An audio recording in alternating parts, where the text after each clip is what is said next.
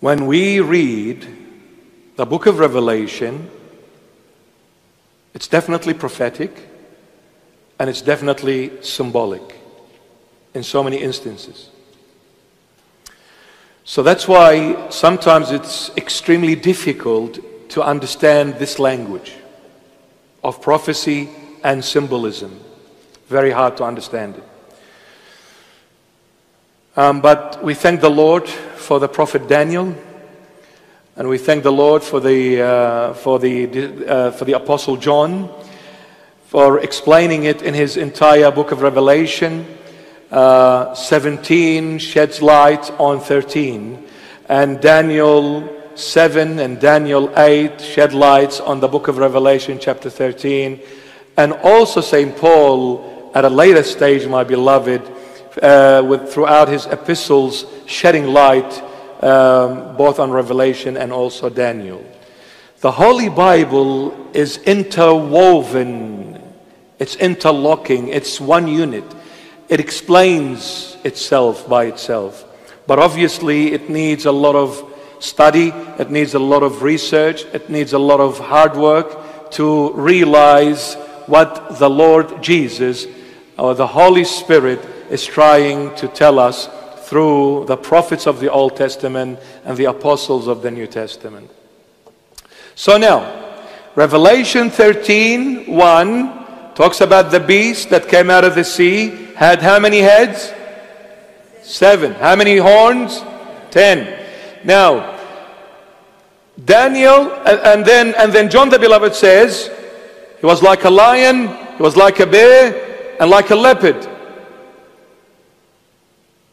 And he spoke, and he had all the authority of the dragon.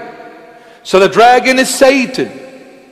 The beast is not Satan, but he has the authority from Satan. And then we said, when we went to Daniel 7, when we went to Daniel 7, we realized that these heads are empires. Because Daniel in chapter 7, he sees four beasts coming out of the sea. One like a lion, like a bear, like a leopard, leopard and a terrible beast. So the lion, the bear and the leopard, all of them are in Revelation 13:1 beast. And Revelation 13:1 beast is the terrible beast that has also 10 horns because the last terrible beast in Daniel 7 has 10 horns as well. But then a little horn comes out. Look at Daniel, he is, he is telling us that these beasts are empires because Daniel chapter 2, chapter 8, chapter, chapter 5 and 8, they tell us precisely that these are empires. Well, since one of the head is an empire, then all of the heads are empires. And he said it to Nebuchadnezzar. He said, The gold, the lion is you. The lion is you, Babylonian Empire. The bear, who had the chest and the arms of silver, is Medo Persian Empire.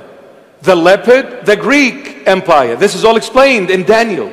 You read Daniel 2, chapter 2, chapter 5, and chapter 8. He explains them all. Who is the lion? Who is the bear? Who is the leopard? So when these lion, bear, leopards are all empires explained by Daniel, well, this lion, bear, and leopard is all in this beast which John the Beloved saw in 13.1 coming out of the sea. So this beast has seven heads, therefore each head is an empire. Are you with me? Good. So the Babylonian Empire, followed by the Medo Persians, followed by the Greeks, then the Romans. Before the Babylonian was the Assyrian. Before the Assyrian was the Egyptian. And after the Greeks, the Roman Empire, who is. So John comes back again and he says, Five have fallen.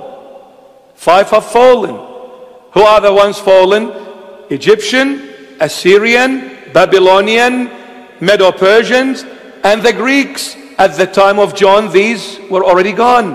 One is at my time, I, John, who was ruling at the time of John around 100 AD? The Roman Empire, because they ruled from 200 BC to 467 AD. John was in 180 AD writing the book of Revelation. So Roman Empire is still is.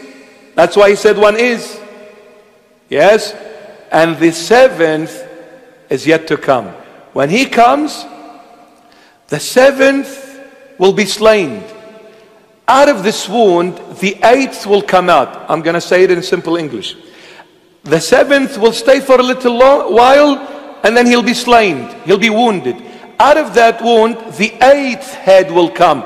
But this eighth, he's saying in 17, 9 to 11, in, in Revelation 17, 9 to 11, he says, the eighth is also the seven.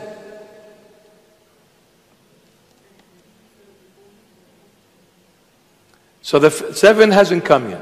When he comes, he'll stay for a little while and then he'll be slain. He'll be wounded. Out of this wound, the eighth head will come.